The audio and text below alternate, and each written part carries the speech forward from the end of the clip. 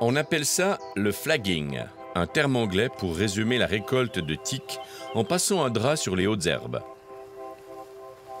Olivier Ress le pratique depuis 1996. Ce jour de printemps, il nous montre ses dernières prises avant de prendre sa retraite à la fin de l'année. Donc voilà, pour l'instant, nous avons récolté surtout des nymphes. D'ailleurs, on s'y attendait à, cette période, c'est surtout les nymphes qui sont encore là. On a eu quelques adultes, c'est tout. Parce que les tiques ont différents stades de développement Alors, ils ont trois stades euh, de développement. On part de la larve, qui va faire un repas sanguin sur un petit animal, généralement un mulot, ou un oiseau, un écureuil. Va faire son repas sanguin pendant 3 à 5 jours, se laisser tomber au sol, muer, et ça va devenir une nymphe.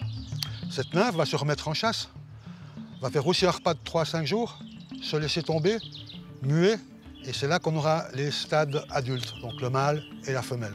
Le mâle a un plastron uniquement noir, donc il n'a pas de poche pour pouvoir faire un repas sanguin. Donc il est uniquement, là pour la reproduction.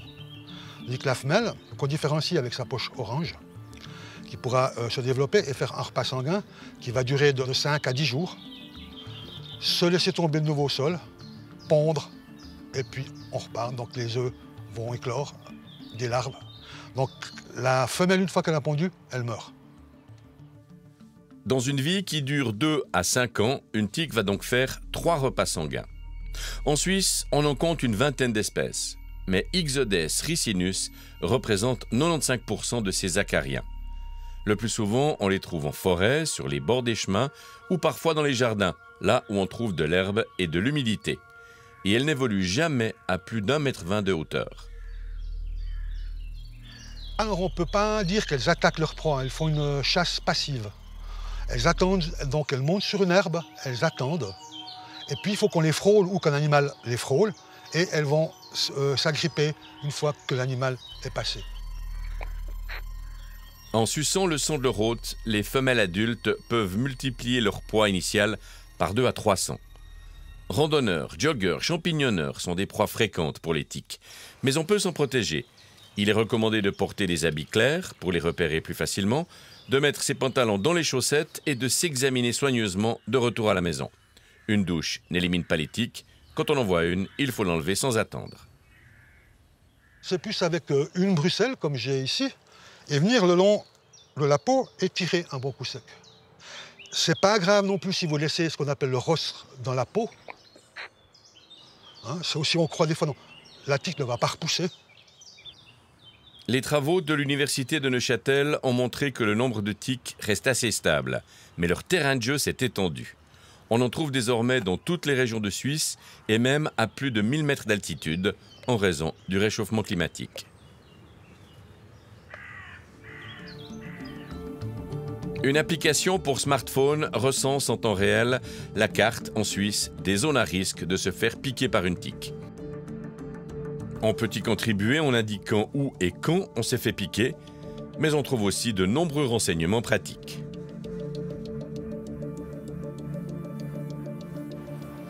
Depuis 1977, l'université de Neuchâtel a aussi maintenu un impressionnant élevage d'Ixodes ricinus. On a tous les stades ici. Je vous ai mis euh, tous les stades, euh, les trois stades euh, de, de la tique. Ici, vous avez un tube avec des larves.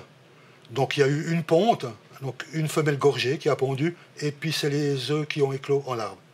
Il y en a combien là à peu près? Alors, on dit euh, généralement qu'une ponte fait entre 2000 et 3000 œufs. Une question nous titille encore. Pourquoi certaines personnes sont-elles plus facilement la proie des tiques que d'autres?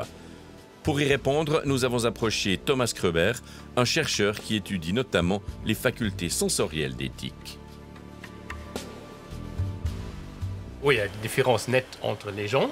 Et puis, euh, en substance, c'est plutôt les odeurs qui sont importantes à ce niveau-là. Mais aussi, euh, une personne transpire plus, il y a plus de l'humidité, ou il y a euh, le CO2, c'est la chaleur, mais c'est aussi les odeurs qui sont importantes pour qu'ils nous trouvent ou notre chien ou notre animal dans la forêt. Reste à comprendre ce qui a poussé tous ces scientifiques à se préoccuper d'un spécimen aussi effrayant fascinant. bah, je m'y suis familiarisé, disons.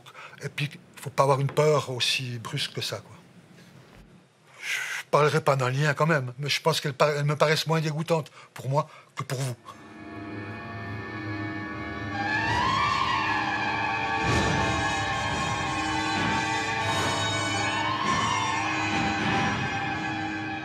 Des bêtes effectivement bien peu ragoûtantes, mais surtout des bêtes qui transmettent des maladies, notamment la maladie de Lyme. Selon les endroits en Suisse, 5 à 30% des tiques peuvent transmettre cette borréliose, une infection difficile à diagnostiquer et une infection difficile à porter pour certains car les symptômes ne sont pas toujours pris au sérieux.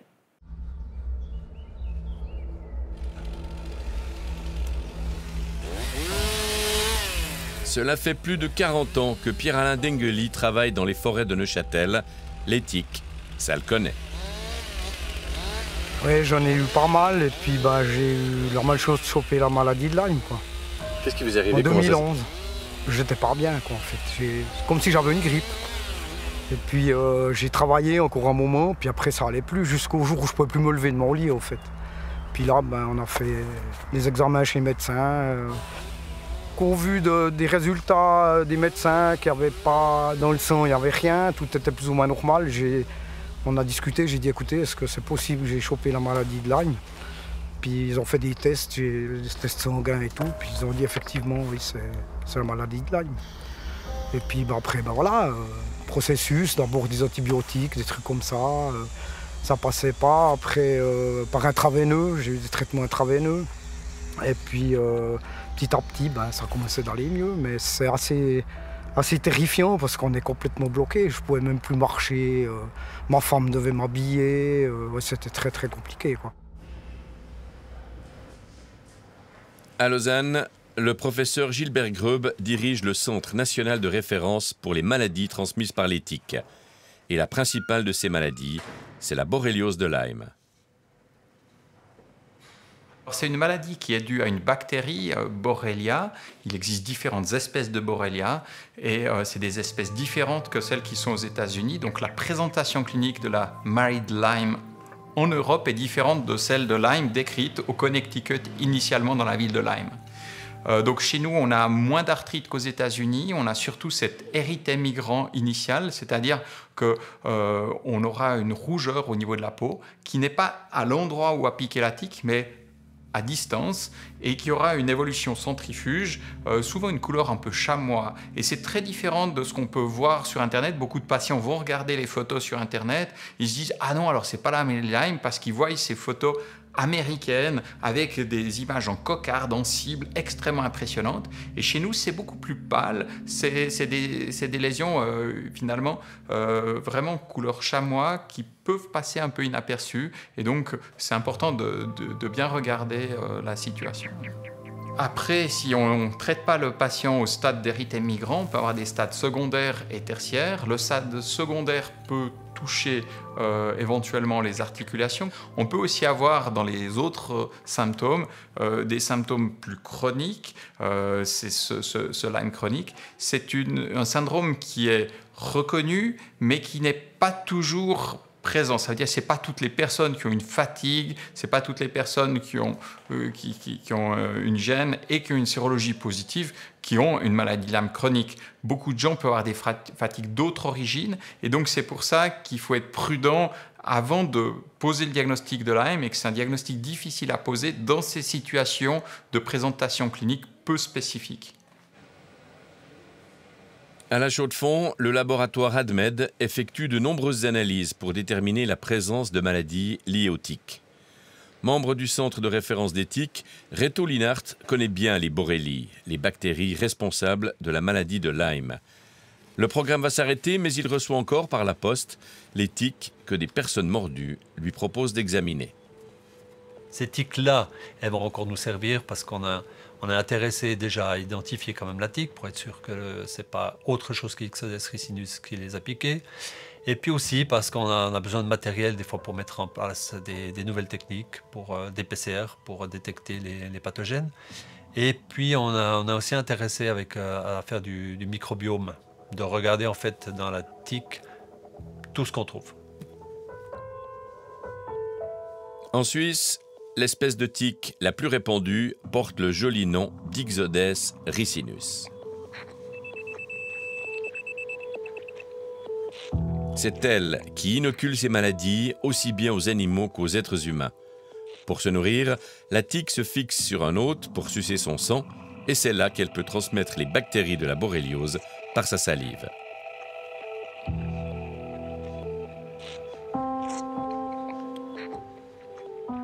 La particularité pour la borréliose de Lyme, ça c'est important, par rapport à l'encéphalite c'est que cette, euh, cette transmission, elle prend un certain temps parce que les borrélies ne sont pas dans les glandes salivaires. Elles, sont en latence, elles attendent tranquillement euh, dans la partie plutôt intestinale. Avant que la tique régurgite ces bactéries, on a donc le temps de l'enlever pour éviter la contamination. C'est pour ça qu'on dit, normalement, dans les 16 heures, si on l'a enlevé, on n'a pas trop de risques. D'où l'importance en prévention de repérer, de repérer très vite la tique. Parce qu'à ce moment-là, au moins, on est protégé de la borréliose. Reto Linhart a contribué à mettre au point plusieurs types d'analyses.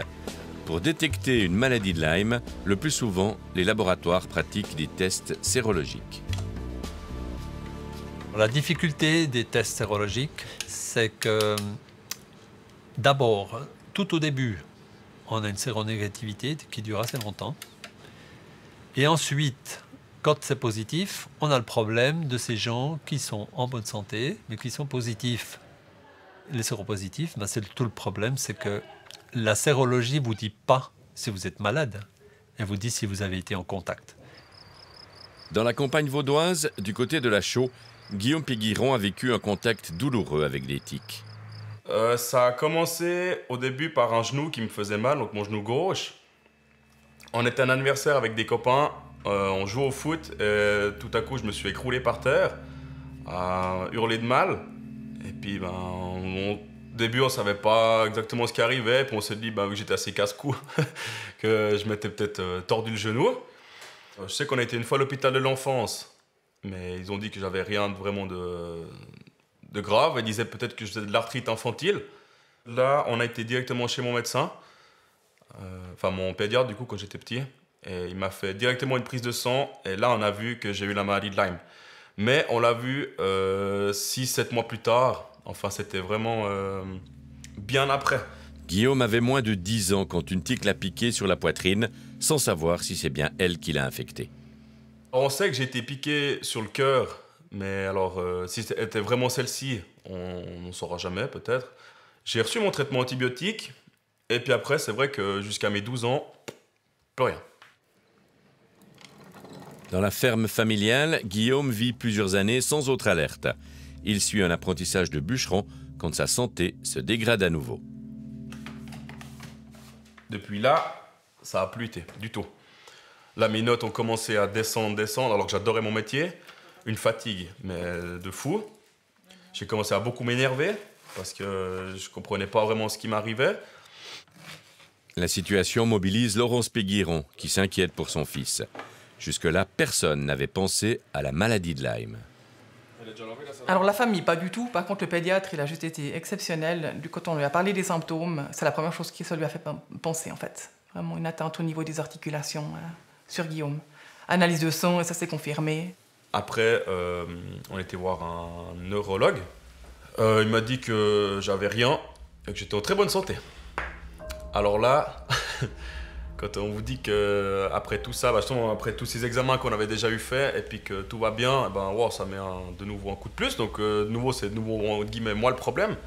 Alors qu'on a déjà énuméré tous ces problèmes que j'avais ben, de ma santé, les muscles et tout ça, les articulations qui me faisaient mal, le dos qui se bloquait, les genoux. Mais à la fin, en fait, on me laisse tout seul. Parce qu'ils savent pas quoi faire. Puis ils me disent que c'est dans ma tête et puis que j'ai rien. Laurence Piguiron, la maman, elle, veut aller plus loin. On a rencontré une micronutritionniste qui a eu été elle-même atteinte de la maladie de Lyme, qui s'est spécialisée là-dedans et qui travaille avec des laboratoires à l'étranger qui sont euh, plus en avance dans la recherche, notamment euh, Belgique, Luxembourg.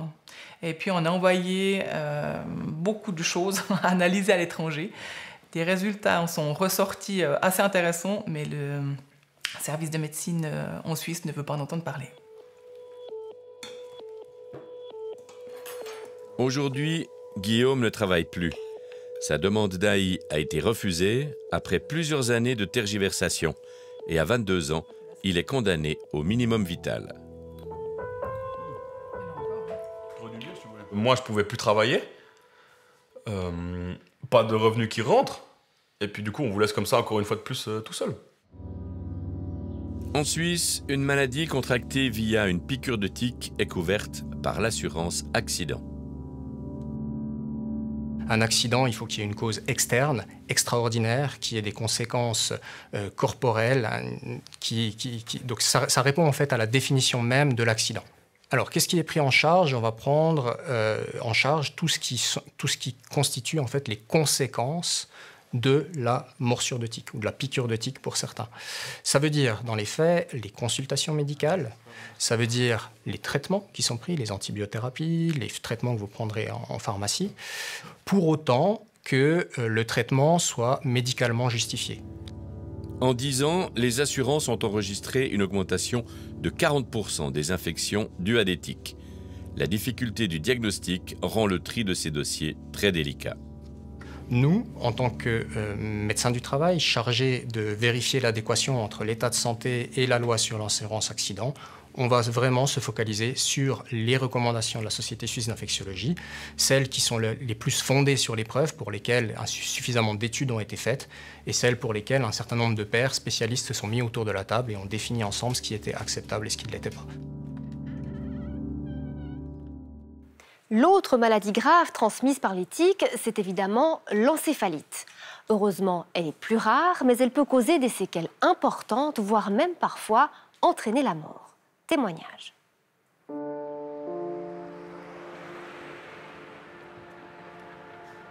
À Bienne, Patrick Gros-Claude dirige avec sa femme une clinique vétérinaire.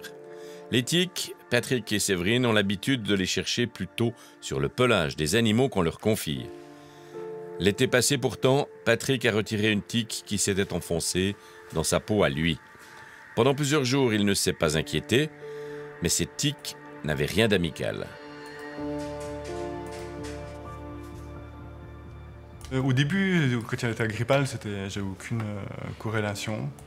Euh, après, quand il y a eu d'autres symptômes qui sont, apparus, c'est vrai qu'avec rigidité au niveau de la nuque, des douleurs au niveau de la musculature, c'était des symptômes euh, un peu plus typiques de, la méningite.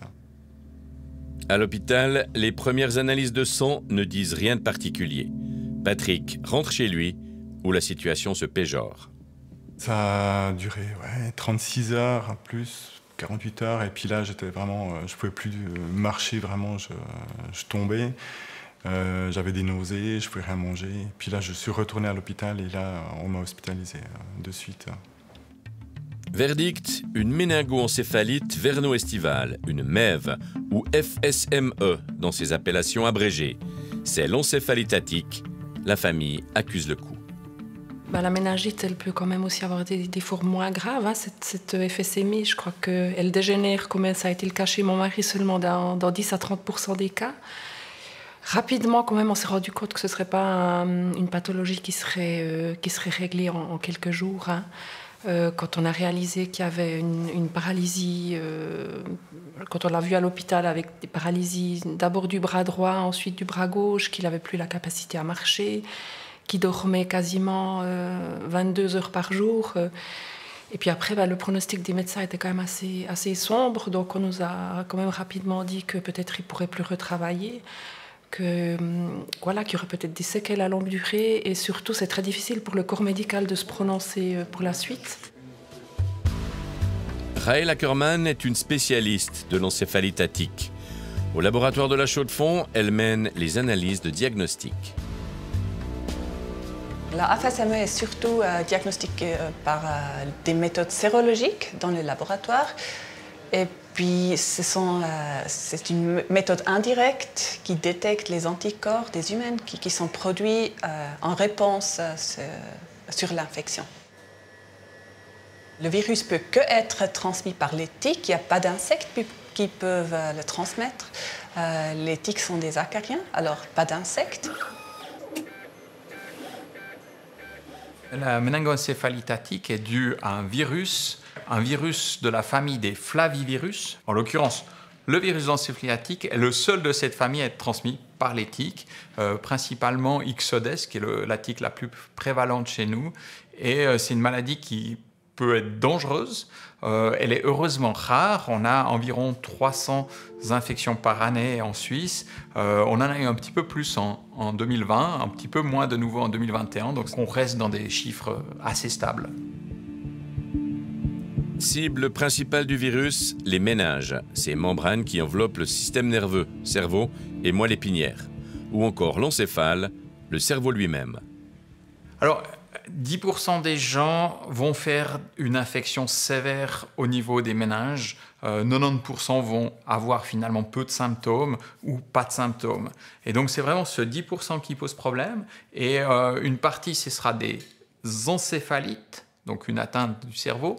Une partie, ce sera des méningites virales, atteinte des méninges. Et une partie, ce sera le mélange des deux, ça veut dire une méningoencéphalite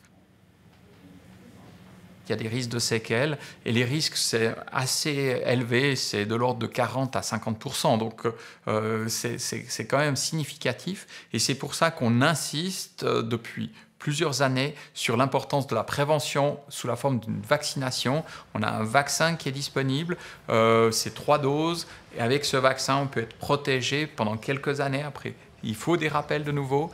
les rappels, ça dépend de l'âge. Si on est plus âgé, il faut des rappels plus, plus fréquents. Si on est un peu plus jeune, la protection dure un peu plus longtemps. Pas besoin d'ordonnance pour se faire vacciner dans une pharmacie contre l'encéphalite attique. Les injections sont prises en charge par l'assurance maladie de base. Patrick Gros-Claude, contrairement à sa famille, lui, n'était pas vacciné. C'est clair qu'on regrette un peu de ne pas avoir euh, réalisé le vaccin euh, avant. Euh, c'est aussi une expérience euh, de vie. Hein. On apprend à, faire tout un travail sur soi-même, à voir d'autres choses qu'avant on était plongé dans, le travail. Euh, c'est vrai que le vaccin, c'est une chose que, que je pourrais conseiller en tout cas.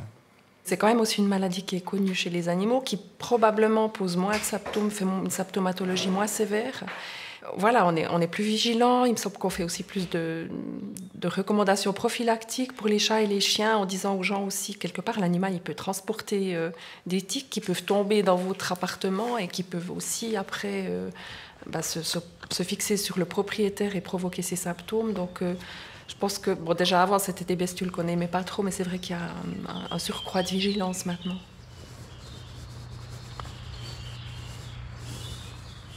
On voit que notre équilibre vital ne tient qu'à un fil, en fait, que tout peut changer du jour au lendemain. Et puis, euh, voilà, il faut s'adapter rapidement à ces nouvelles situations.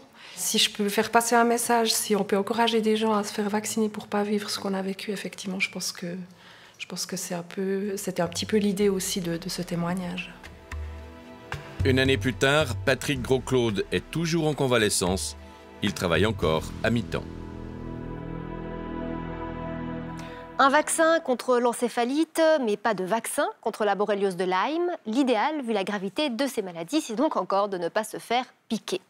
Pour ça, le marché offre une très large gamme de répulsifs que nous avons testés pour vous. Bonsoir Stéphane Fontanet. Bonsoir Linda. Vous êtes le responsable de nos tests. Alors ce soir, 10 produits testés en partenariat avec la Fédération romande des consommateurs. Euh, comment est-ce qu'on mesure l'efficacité de ces répulsifs? Alors, on mesure cette efficacité euh, euh, en mesurant la durée entre l'application du produit sur une surface et puis le moment où l'éthique reste accrochée à cette surface, en l'occurrence un tambour. Alors, le test n'a pas été mené sur euh, de vraies personnes. Pour quelle raison? Bah, Parce qu'il aurait fallu prendre une dizaine de personnes. Le test aurait été beaucoup plus long, beaucoup plus cher. Et puis, cette méthode euh, alternative sur ce tambour qu'on va voir euh, par la suite était tout à fait reconnue. L'éthique, par contre, elle, c'était des vrais. Mhm. Combien est-ce qu'il a fallu en utiliser? Alors, à compter de 10 produits, 6 heures de test, 16 tics par heure, on arrive à à peu près un millier de tics qui ont été utilisés. On fait un saut au labo en Allemagne pour voir euh, comment tout cela s'est déroulé. Stéphane, on vous retrouve avec les résultats juste après ce petit reportage signé Anne Maillet et François Janet.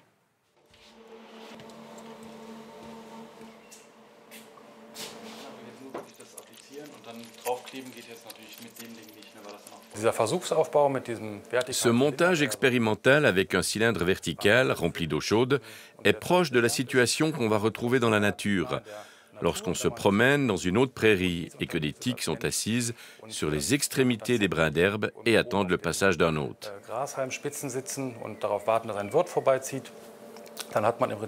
La jambe opère alors un mouvement similaire à ce tambour. Lorsque nous utilisons cette configuration sans produit répulsif et que nous procédons à ce que nous appelons un contrôle, nous appliquons un papier filtre qui n'est pas traité. Nous plaçons ensuite la tique sur cette tige de verre qui mène au tambour et puisqu'elle est attirée par la chaleur, elle se dirige vers la pointe de la tige et elle saute sur le cylindre pour remonter en général vers le haut.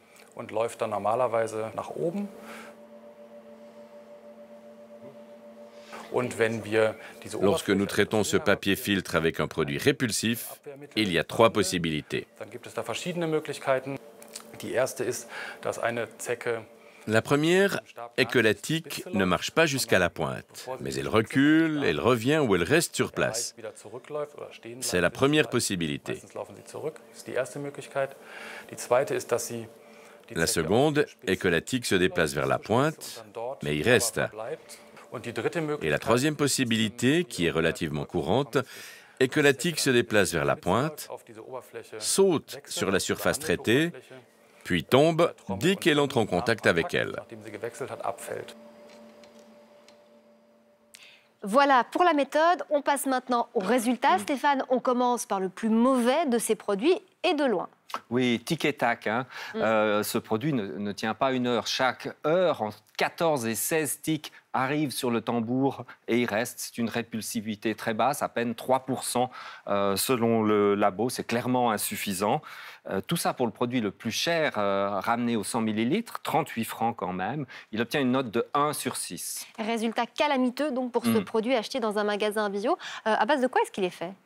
Alors, c'est un mélange d'huile de lavandin, citronnellal, citronnellol, eugénol et, j'en passe. Pour les autres produits qu'on va voir par la suite, euh, ils contiennent soit de l'huile d'eucalyptus et ou de l'icaridine, qui est une substance synthétique. ce qui est intéressant, c'est que même avec les mêmes produits, on peut avoir une efficacité euh, vraiment très variable. Euh, en neuvième position, on trouve le farfalla naturel. Ah, oui, tout à fait. Alors, il n'est pas bon non plus. Hein. Dès la première heure, deux tiques sautent sur le tambour et restent accrochés. Mhm. Et dès la troisième heure, on passe à 4 à 5 tiques. C'est insuffisant.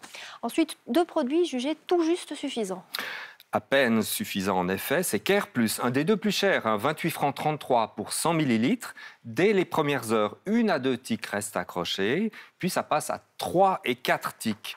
Même résultat ensuite pour Phytopharma Forte, un tout petit peu moins mauvais sur la fin. On précise d'ailleurs qu'on voit un moustique hein, sur certaines de ces bouteilles. C'est parce que certains répulsifs sont censés protéger contre les, les piqûres de moustiques et de tiques. Après ça, les produits satisfaisants. Oui, il s'agit de anti-insectes qui tient une heure et demie de protection complète. C'est un des deux moins chers, 6,95 hein, pour 100 millilitres. Et puis Pur Essentiel Antipique version enfant fait mieux avec 3 heures et demie de protection complète coûte quand même 24,25 francs au 100 ml. Et on arrive enfin aux produits jugés bons par le laboratoire. Exact. Alors c'est le cas du moins cher, hein, 5,95 au 100 ml pour Moschino. Il tient 4 heures et demie de protection complète. Ensuite, on trouve Aeropic, 5 heures de protection au total. Euh, et ensuite, on a le premier anti-brume, anti-brume antitique avec une protection de 5h30. Et le meilleur alors? Et, le, et le meilleur, c'est anti-brume naturel. Euh, la meilleure efficacité, plus de 6 heures euh, d'efficacité pour ce test. Mais attention, euh, meilleur, très bon, efficace, ça ne veut pas dire qu'aucune ne s'accroche. Non, non, loin de là. Hein. Efficace même pour les trois meilleurs produits de ce test. Cela veut dire que selon les heures du test, qui dure 6 heures, quelques mhm. tiques sautent sur le tambour et parfois une, parfois deux, parfois zéro restent accrochés ou non. Stéphane, les fabricants, est-ce qu'ils ont réagi à ce test? Oui, Tic le moins bon, donc a, réagi, se déclarant surpris de ce résultat. Euh, comme ils ont, ce Tic a fait tester l'efficacité de ce produit à l'université de Neuchâtel euh, en 2016. Ce qu'on peut préciser de notre côté, c'est que la méthode de test Mm. euh, est différente. La nôtre est basée sur la durée. Tic et tac de préciser aussi que les gens qui ont un doute sur l'efficacité de ce produit euh, peuvent le renvoyer, ils seront euh, remboursés. On prend note. Euh, un mot encore pour terminer sur l'utilisation de ces produits?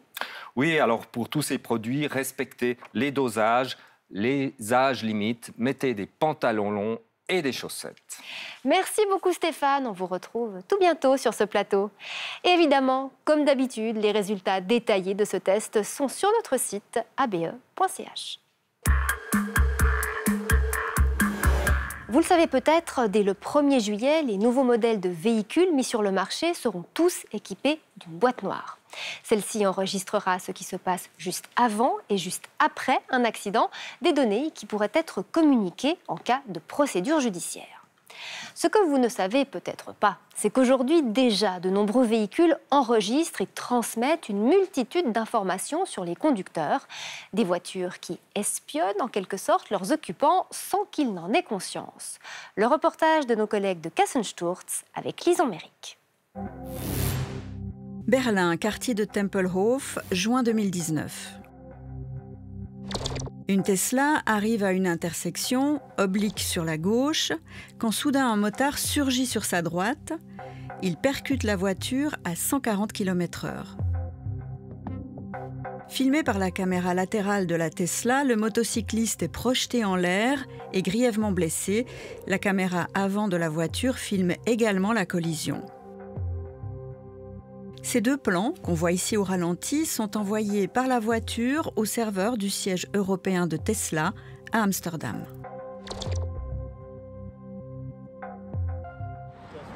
Andreas Winkelmann a enquêté sur cette affaire. Avec l'accord du conducteur, il a demandé à Tesla de lui transmettre les données du véhicule. J'ai été très surpris quand le 2 août, la société Tesla nous a envoyé un lien d'accès à son cloud.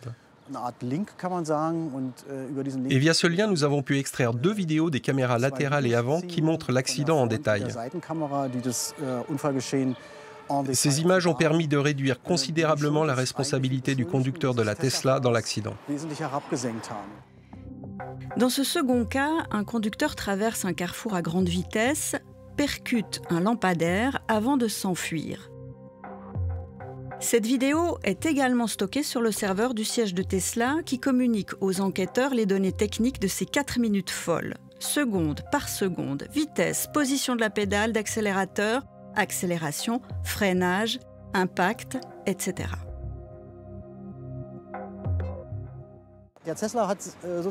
On peut dire que Tesla a trahi son propre conducteur. Grâce à ces données, nous avons pu enquêter sur cet accident très en profondeur. Des images vidéo et des données de conduite détaillées fournies par le constructeur automobile plusieurs mois après l'accident. Le fait qu'un constructeur stocke ce type de données n'étonne pas Bettina Tsand. Elle enquête sur les accidents pour une grande compagnie d'assurance. Sur le principe, cela ne me surprend pas. Quand un véhicule enregistre des données et contient une carte SIM, on peut s'attendre à ce que les données se retrouvent quelque part sur un serveur. La loi, qui entrera en vigueur cet été en Suisse, prévoit de recueillir des données très simples en cas d'accident et de les stocker dans l'enregistreur de collision de la voiture. Mais il n'est pas question de données vidéo. Il est clair que la police peut sécuriser ces données, elle doit le faire. Un procureur peut ordonner qu'on les utilise dans une enquête. Tout cela est très bien réglementé. Toutefois, ces données d'accident décrivent seulement les 5 secondes qui précèdent la collision et restent stockées dans la voiture. Mais Tesla collecte beaucoup plus de données. Par exemple, dans ce cas, l'ouverture de la porte 48 secondes après l'impact et la caméra arrière filme et enregistre même le travail des sauveteurs. Difficile de savoir ce que montrent les données collectées par les fabricants et à quel point elles sont sensibles. On n'a peut-être pas envie que la vidéo de son visage circule, c'est très personnel. Mais on ne peut pas l'interdire puisqu'on ne sait pas quelles images sont stockées. Cet aspect n'est pas réglementé, ce qui est délicat à mes yeux. Mais pour le moment, en tant qu'acheteur d'une voiture, je donne quasiment au constructeur le droit de faire ce qu'il veut. Il y a quelques années, des spécialistes expliquaient à l'Automobile Club allemand quelles données étaient collectées par les voitures. Des transmissions envoyées régulièrement au constructeur sans que le propriétaire du véhicule en soit informé. Cette Mercedes classe B, par exemple, envoyait toutes les deux minutes les 100 derniers démarrages du moteur, y compris la date, l'heure et la position GPS. Cette BMW 320 transmettait régulièrement les dix dernières destinations du système de navigation, ainsi que le nombre de CD qui ont été insérés. Ce modèle électrique Zoé de Renault envoyait un paquet de données au constructeur toutes les 30 minutes, numéro d'identification du véhicule, position GPS et des informations sur la charge et la tension de la batterie. Ces données permettent souvent de tirer des conclusions sur le comportement du conducteur, par exemple si les phares sont allumés ou la ceinture de sécurité bouclée. Des centaines de données régulièrement collectées et envoyées aux fabricants sans qu'on sache vraiment à quelle utilisation elles sont destinées.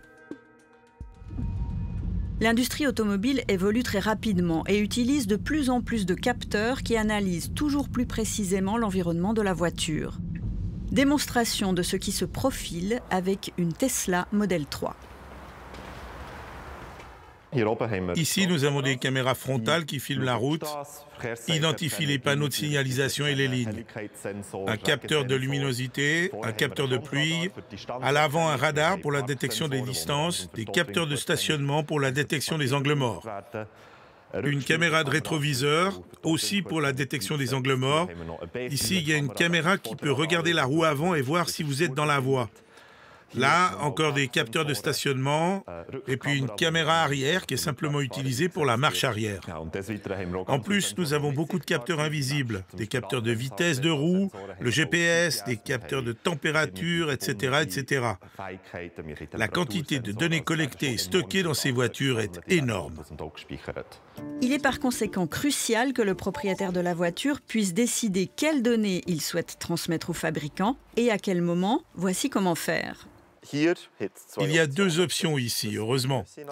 D'une part, vous pouvez dire non aux données analytiques et refuser que le fabricant siphonne ces données et les utilise, ce qui n'empêche pas d'utiliser des services qui nécessitent une connexion Internet. Ce n'est pas le cas pour tous les fabricants de voitures. Cependant, dans le cas où un propriétaire de Tesla décide de ne transmettre aucune donnée, la politique de confidentialité du véhicule indique que cela peut entraîner une fonctionnalité limitée de votre véhicule, des dommages graves ou une incapacité à être opérationnel. Je constate que l'acheteur d'un véhicule est relativement mal informé sur ce que tout cela implique exactement. On indique globalement que les données dont le fabricant a besoin pour le développement ultérieur des systèmes peuvent être transmises. Ce n'est pas clair pour moi en tant qu'acheteur ou en tant qu'utilisateur d'un véhicule. Et même sans qu'un accident survienne, les données peuvent être transmises par le fabricant, comme le montre ce cas sur ce tronçon de l'autoroute urbaine de Berlin, limité à 80 km/h, une Tesla et une moto sont flashées à 206. Nous soupçonnions une course entre les deux véhicules et nous avons vérifié chez la société Tesla si les données numériques du véhicule étaient disponibles. C'était le cas. Donc, même en l'absence d'accident, les données de conduite exposent le conducteur et peuvent même donner lieu à des poursuites pénales. Il n'y avait pas eu d'accident et pourtant les données étaient stockées sur le serveur de Tesla. On ne peut pas posséder les données. Elles peuvent être stockées simultanément dans différents endroits. Donc si votre voiture contient une carte SIM, vous devez vous attendre à ce que les données aboutissent dans un cloud et puissent être consultées par des personnes plus ou moins autorisées à le faire. Seul, dans sa voiture en race campagne, Attention, c'est une illusion romantique. En fait, votre bijou de technologie vous surveille. On précise que nos confrères de Kassensturz sont sollicités Tesla à plusieurs reprises pour obtenir des réponses sans succès. Bonsoir Adrienne Lopsiker. Bonsoir, madame. Vous êtes le préposé fédéral à la protection des données. Merci d'être avec nous depuis Berne. Alors, ce qu'on vient de voir se passe en Allemagne, mais est-ce qu'en Suisse aussi, les autorités euh, de poursuite pénale pourraient avoir accès à, à ce type d'informations? Oui, ils ont accès à toutes sortes d'informations dans le cadre euh, des codes de procédure pénale et civile, mais l'accès est limité euh, aux données qui sont récoltées en conformité avec euh, le droit de la protection de données. Et d'après vous, là, ce qu'on a vu, ça va au-delà de ce qui est admis par le droit de protection des données suisse Oui, ces enregistrements étaient trop longs. C'était au contraire au principe de la proportionnalité et donc ce genre euh, de données ne peut pas être exploité ni par la police ni par la justice. Est-ce qu'on peut imaginer que des assureurs qui fassent la demande auprès du constructeur obtiennent, eux, ce type d'informations? Non, euh, les assureurs, ils peuvent accéder aux données qu'ils ont récoltées dans le cadre contractuel. Si par exemple ils ont fourni euh, un outil euh, aux détenteurs, mais ils n'ont pas un accès direct aux données réservées à la justice. Quelque chose d'assez frappant dans le reportage qu'on vient de voir, c'est que si le, conducteur choisit de ne pas transmettre ces données par l'intermédiaire de, son véhicule, Tesla écrit Cela peut entraîner une fonctionnalité limitée du véhicule, des dommages graves ou une incapacité à être opérationnel. Est-ce qu'un constructeur a le droit de faire ça? Non, c'est inacceptable si le constructeur offre à son client une option qui est favorable à la loi sur la protection de données.